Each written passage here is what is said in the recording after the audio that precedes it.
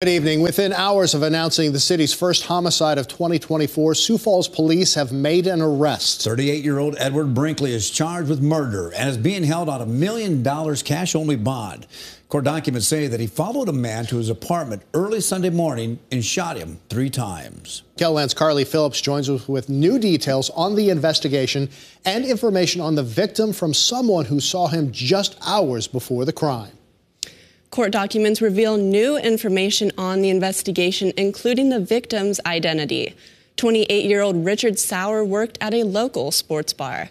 I spoke with a coworker who drove Sauer home from work early Sunday morning. He, he described Sauer as a caring person and a longtime friend who was always looking out for others. Now, police are trying to figure out why he was killed. Investigators may never know exactly what happened in a second floor hallway in this downtown apartment building. But according to court documents, surveillance cameras outside nearby businesses show when the crime happened and who was involved. The victim in this case uh, has been identified as Richard Alexander Sowers.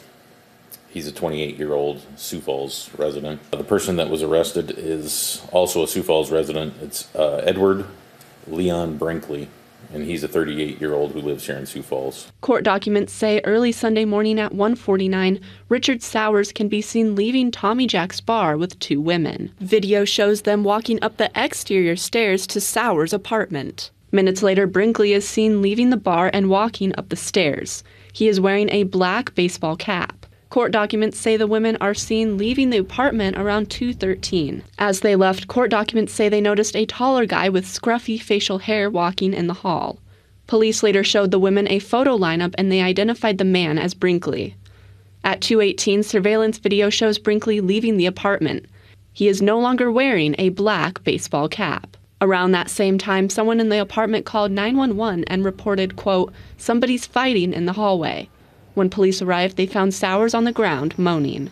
Court documents say he had three wounds and appeared to have been shot once in his left armpit and twice in the back toward the base of his neck. Officers also found a black baseball cap near the victim's feet. We're still investigating to determine uh, what the nature of their relationship, if any, was. Carly, I'm just curious, other than the baseball cap, was there any of other evidence found at the scene? Yes, so Brinkley was actually wearing a green pair of St. Patrick's Day glasses, and those were also found inside of the apartment building. All right. Any motive? Did police talk about a motive yet? So, right now, um, a few minutes before the shooting, court documents say that Brinkley was actually carrying a bicycle outside of the apartment building.